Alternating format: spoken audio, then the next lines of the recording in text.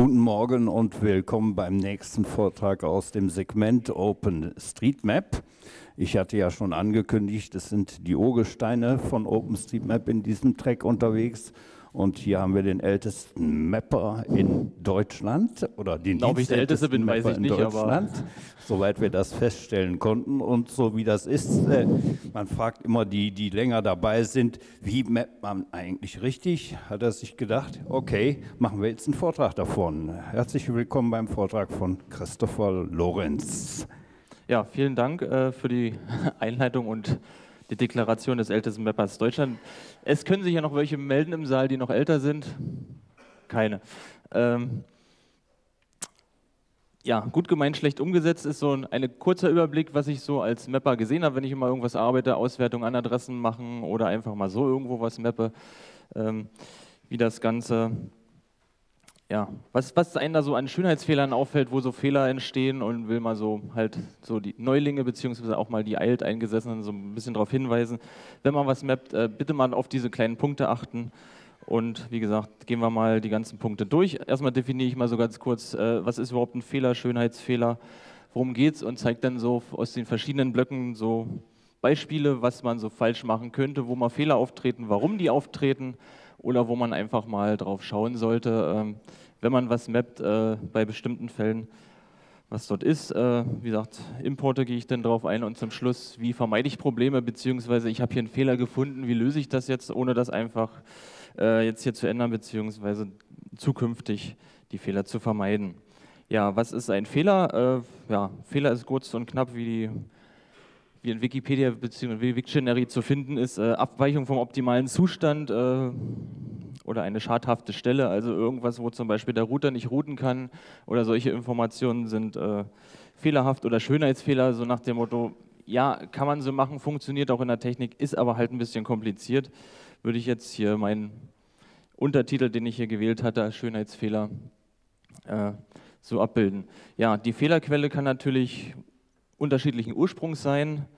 Ähm, also Ursprung ist die Fehlerquelle und was genau. Äh, zum einen kann es der Mapper sein, der einfach was falsch verstanden hat, was falsch eingegeben hat oder auch die Software. Also es gab auch mal den Fall, ich glaube, das war ganz am Anfang vom ID-Editor, dass er bei bestimmten Bearbeitungen wirklich die Relationen kaputt gemacht hat an einigen Stellen.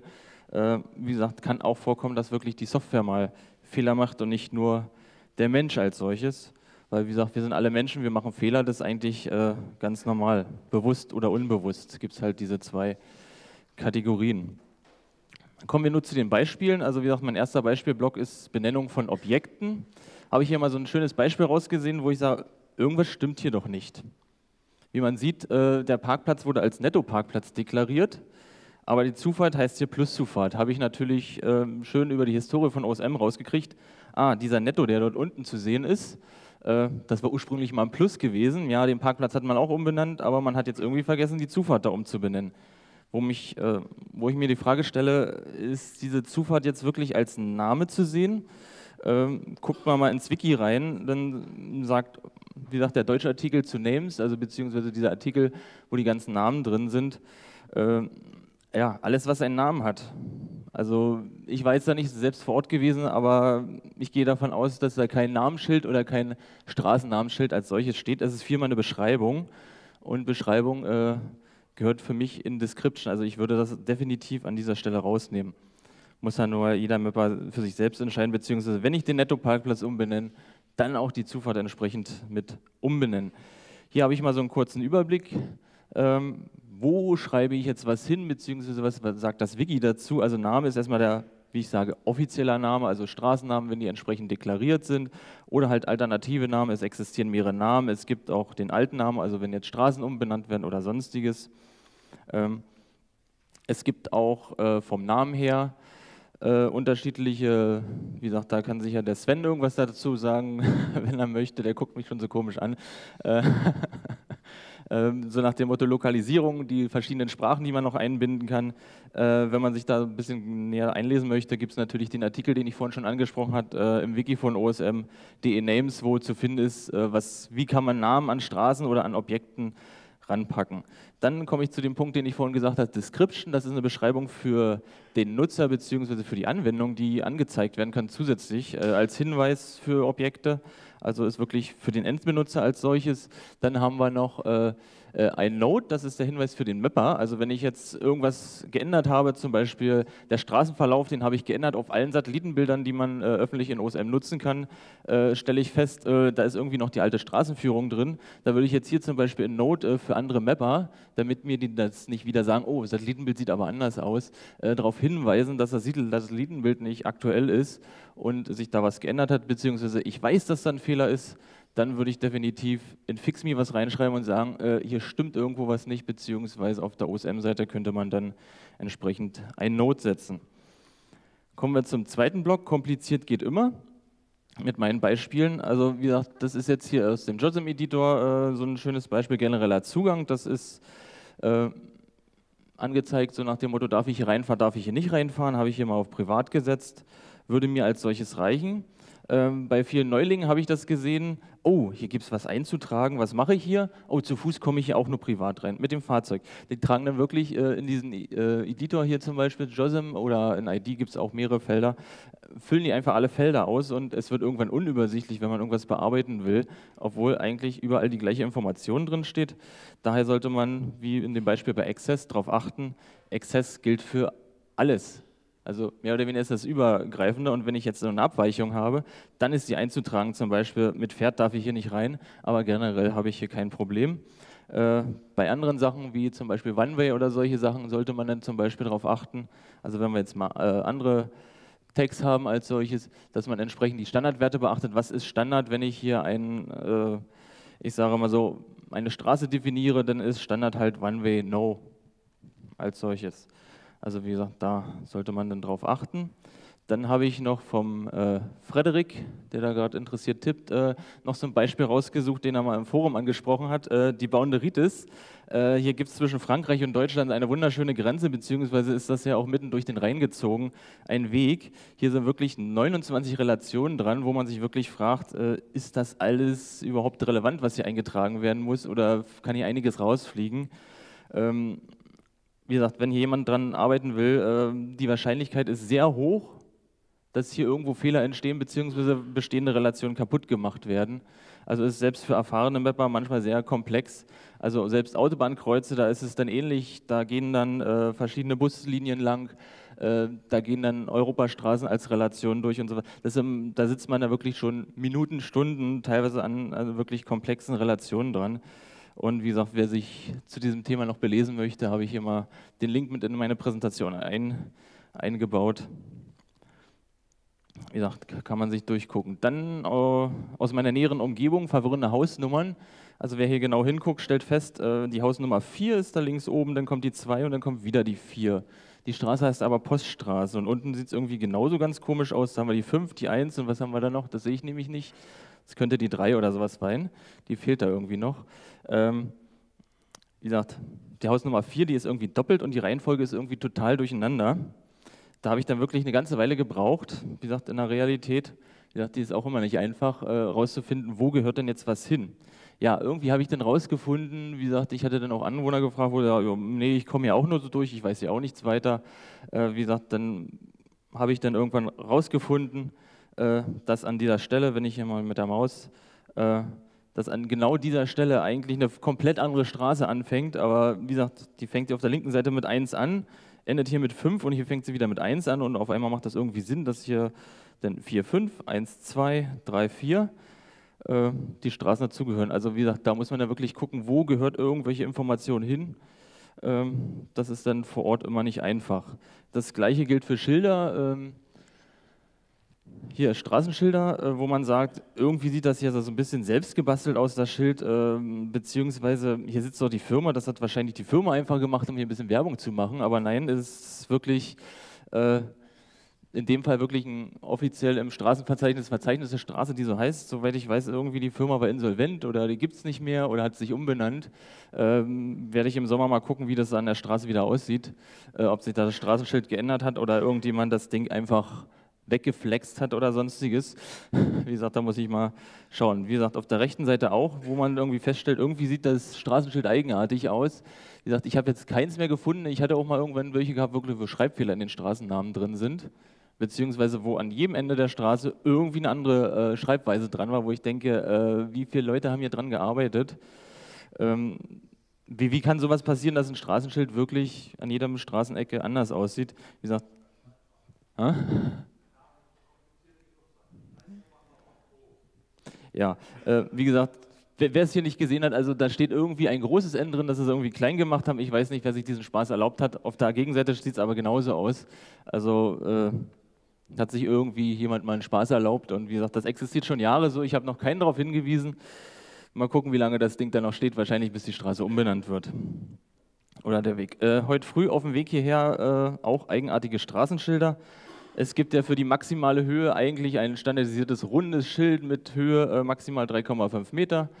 Äh, wie gesagt, das ist ein offiziellen äh, Verkehrszeichenschild und wie gesagt, das habe ich an der Poppelsdorfer Allee gefunden. Äh, da bin ich schon dreimal vorbeigelaufen, wo ich denke, irgendwie sieht das aber eigenartig aus. Äh, da fragt man sich auch, wie bringt man das jetzt in OSM rein? Das ist ja nur eigentlich keine offizielle Höhe. Also ich hatte mich mit Roland auch schon unterhalten, also sinnig wäre es wirklich zu sagen, maximale Höhe 3,5 Meter, weil würde ich hier mit einem LKW Höhe 5 Meter oder sonstiges reinfahren, habe ich hier ein Problem. Komme ich hier rückwärts. Also ich weiß nicht mal, ob das jetzt eine Einbahnstraße war oder nicht. Wie gesagt, habe ich noch ganz flix eingebaut, diese Grafik. Fragen bitte nachher.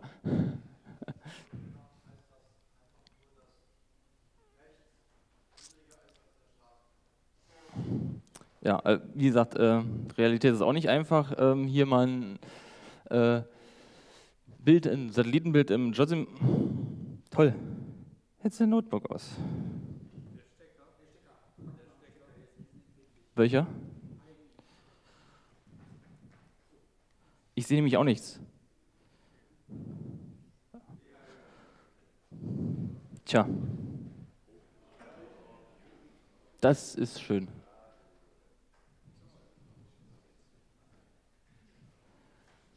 Ja, dann müssen wir ganz schnell mal improvisieren.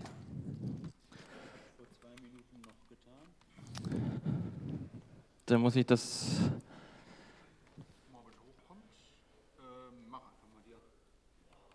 Das kriegen wir schon alles irgendwie hin. Äh, da ist hier wieder irgendein KDE drauf, ja. Kann man hier einfach klicken? Ich muss, glaube ich, auf das oben mit zwei Menschen klicken. Da, das. Äh,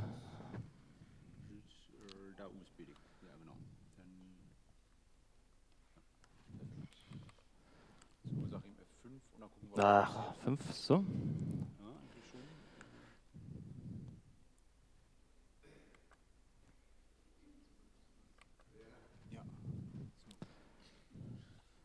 Ich weiß nicht, was schreibt. Ich habe es auch nicht gelesen. Aber irgendwo hier sind wir hängen geblieben vorhin. So, jetzt sind wir wieder genau bei dem Schild hängen geblieben. Ähm, wie gesagt, ähm, hier ein Satellitenbild, jetzt sehe ich nämlich auch alles. Ähm, wo man sagt, hm, warum hat man hier eine ganz normale T-Kreuzung gemacht, warum hat man das so, so, so rund gezeichnet? Äh, ja, weil in der Realität sieht es mit der Zeit schon wieder ganz anders aus. Ähm, der Bauer kommt entweder rechts oder links von seinem Feld und fährt immer in den Ort hinein. Äh, dadurch sieht das irgendwie komplett anders aus. Äh, wie gesagt, ich hatte auch komplett andere Fälle gehabt. Ähm, wo äh, wirklich Wege auf Feldern umgepflügt wurden und dann an komplett anderen Geometrien wieder äh, neu entstanden sind. Da hatte ich mich mal auch mal mappen, wo ich denke, ich war da letzte Woche gewesen, ich bin da komplett rüber, habe das per GPS vermessen, den Weg, äh, weil der war auf dem Satellitenbild auch nicht zu sehen, weil so ein, so ein, so ein Feld hat eigentlich so eine homogene Farbe, man sieht das auf kein Satellitenbild. Ähm, hat man halt dieses Problem und der hat mir das weggemacht und den habe ich dann zufälligerweise am Stammtisch getroffen, wo er sagt, ja, äh, das Ding war weg gewesen und ich bin dann danach nochmal hingefahren und habe festgestellt, die Geometrie ist jetzt auf einmal anders. Also wie gesagt, da kann man jedes Jahr äh, den, den Weg wahrscheinlich neu zeichnen. Das ist äh, hm, immer nicht so einfach. Ähm, dann Kategorie 4 oder Beispiel 4, also mein Beispielblock. Ähm, kurze Wege bzw. kurze Straßennamen. Ähm, hier in dem Ort, wie gesagt, hat sich der Straßenname mal irgendwann von Hauptstraße in äh, Wahldorf geändert oder Walsdorf geändert. Und ja, wenn man aus entsprechenden Zoom-Leveln schaut und markiert äh, die Straßen, die man so sieht, äh, vergisst man ganz mal gerne so, so eine kurzen Stücke, das sind ja so Pi mal Daumen 10 Meter. Hier ist die Straße aufgetrennt, wo man erstmal guckt, warum ist denn die aufgetrennt? Ach, von links kommt irgendwie ein Fußweg und ähm, rechts ist dann ähm, die, geht dieser dann weiter. Also wie gesagt, da ist dann auch wieder eine Relation drüber, die vorhin angesprochen wurde. Und wie gesagt, das passiert auch gerne mal bei Autobahnen. Also da sollte man unbedingt darauf achten, wenn man irgendwelche Sachen in hohen Zoom-Leveln auswählt, dass man auch komplett die Strecken auswählt. Ähm, ganz gerne wird auch Copy and Paste gemacht. Ja, macht durchaus Sinn, wenn irgendwie die Häuser die gleiche Form haben oder dergleichen. Äh, wie gesagt, hier war es nicht ganz die gleiche Form, aber wie man sieht hier auf der linken Seite ähm, haben irgendwie alles, sind irgendwie alle die gleiche Hausnummern drin. Äh, das ist wahrscheinlich so einmal angelegt und immer wieder, also da sollte man, wenn man irgendwas kopiert, aufpassen, dass man auch die Eigenschaften, die sich durchaus ändern können, äh, das wäre hier nur die Hausnummer, wie gesagt, alle anderen, die äh, Stadt, die Postleitzahl, und ist es ein Wohngebäude oder nicht, das bleibt ja erhalten, aber man sollte auf jeden Fall darauf aufpassen, dass man, wenn man irgendwas kopiert, das entsprechend dann anpasst.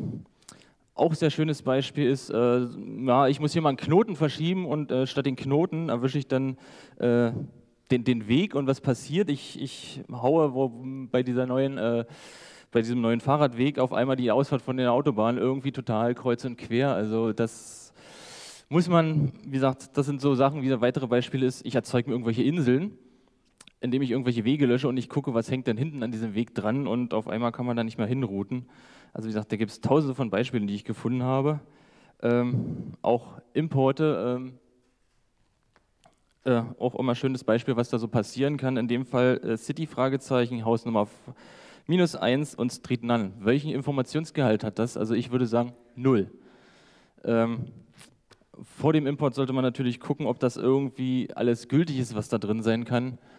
Ähm, beziehungsweise so auf Standardfehler, beziehungsweise gucken, äh, statt, ich hab, muss hier mindestens drei Zeichen haben, auch gut.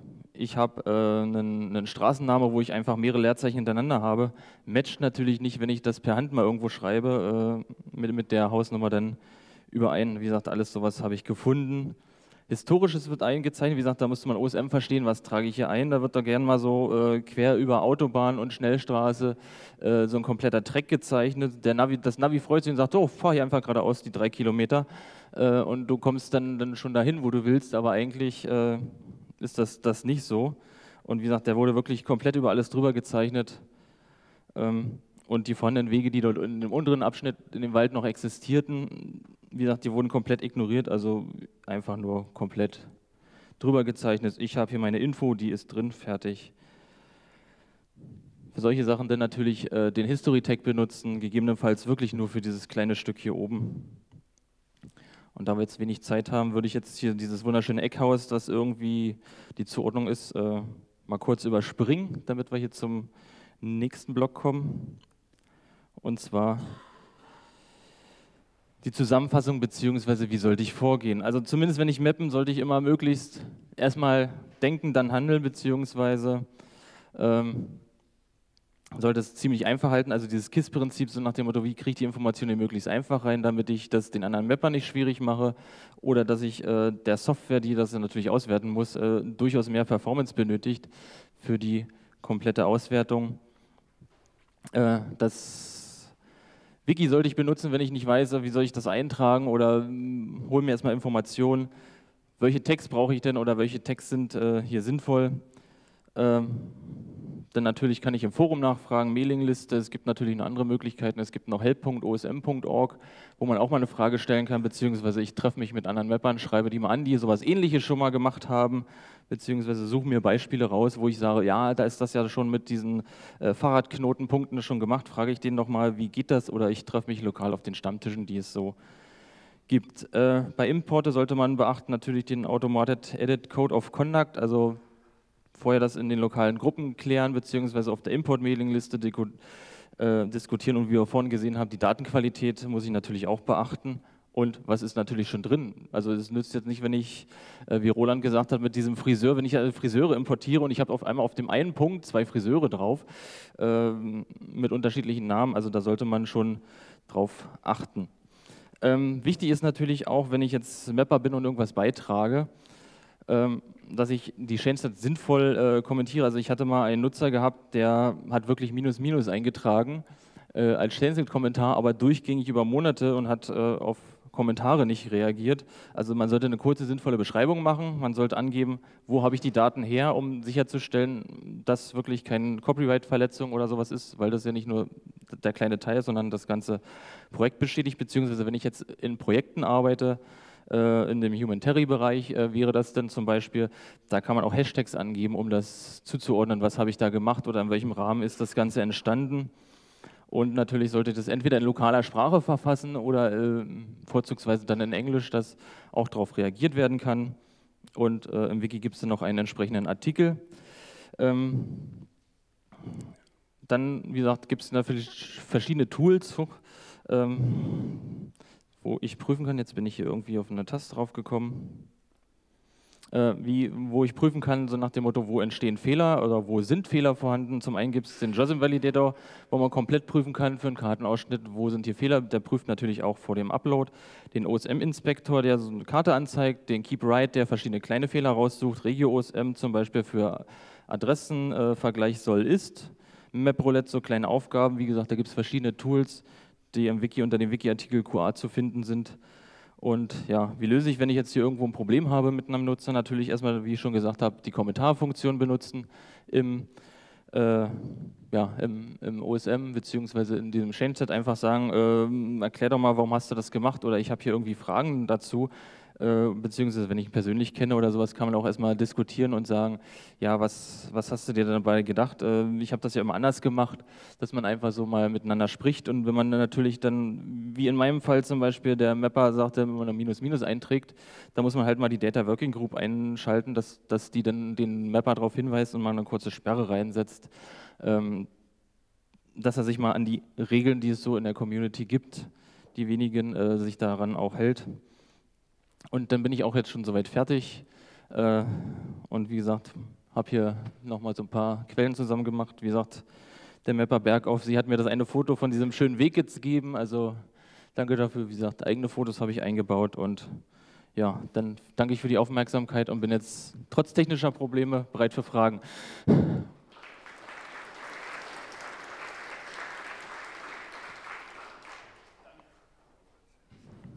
Danke, Christopher.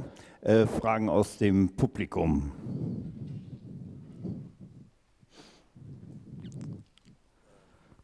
Du hast das zwar nur jetzt ganz zum Du hast das zwar, äh, du hast das jetzt ganz zum Schluss mal nur ganz kurz angerissen, äh, diese Qualitätssicherungstools. Ne? Mhm. Dazu muss man aber sagen, äh, dass sie auch manchmal eine Menge False Positives produzieren. Also speziell der Jossen Validator, äh, der sagt, ja, Vorlage kenne ich nicht, ne, aber ne, also Knotenpunktnetze zum Beispiel, so eine Riesenliste von äh, Fehlermeldungen. Ne? Mhm. Und das ist natürlich, äh, da muss man auch vorsichtig sein, dass man nicht alles korrigiert, was der äh, anmeckert. Ne? Das, das, ja, wie gesagt, das ist richtig. Also man muss, wie gesagt, dann halt wirklich prüfen, ist das so, ist das so nicht. Also zum Beispiel gibt es in diesem KeepWrite-Editor auch, äh, oder KeepWrite-Tool auch äh, mehr oder weniger das Problem so nach dem Motto, es liegen Punkte nahe an einer Straße und äh, wie gesagt, ich habe wirklich Fälle, wo eine, eine, Straße oder ein Parkplatzweg lang geht und von der anderen Seite kommt die Wohnstraße ran. Das ist ein ganz kleiner Fußweg zwischen so von anderthalb Metern. Und da ist der Punkt natürlich sehr dicht an der Linie dran, dass es natürlich anmeckert in dem Fall. Und da muss man natürlich überlegen, ist das jetzt richtig und nicht einfach sagen, ich will diese Keep-Right-Karte jetzt schön haben, ich ziehe den Punkt daran. Das macht, produziert natürlich auch neue Fehler. Das ist richtig. Also da muss man natürlich auch wissen, was man macht bei der Fehlerkorrektur und nicht alles, was sofort, äh, ich sage mal, gemeldet wird, äh, korrigieren, sondern wirklich nachlesen, äh, was ist denn hier, beziehungsweise beim JOSM Validator, bevor ich hochlade, wenn ich jetzt, äh, ja, wie gesagt, dieses Problem, ich fasse irgendeine Relation an oder irgendeinen Punkt fasse ich an ähm, und ändere irgendwie den kompletten Weg, die komplette Relation und da prüft dann natürlich der JOSM-Editor die komplette Relation, ob da irgendwas Falsches drin ist.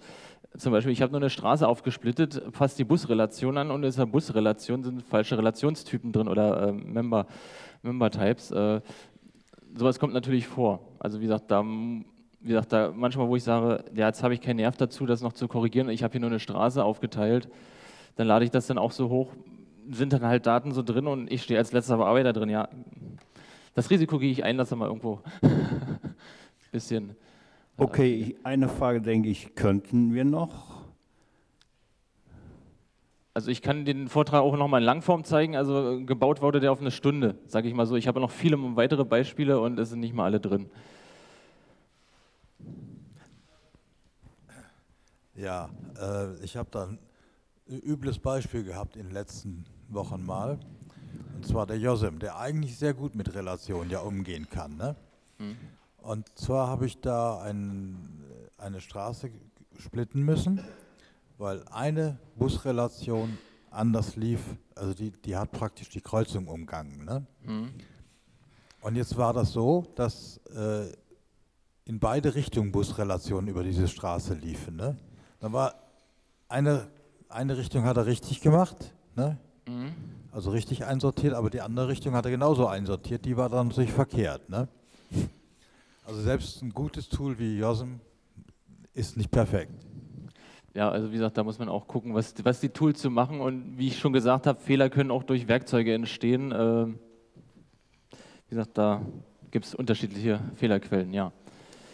Ja, dann äh, haben wir jetzt Mittagspause. Vielen Dank nochmal an Christopher.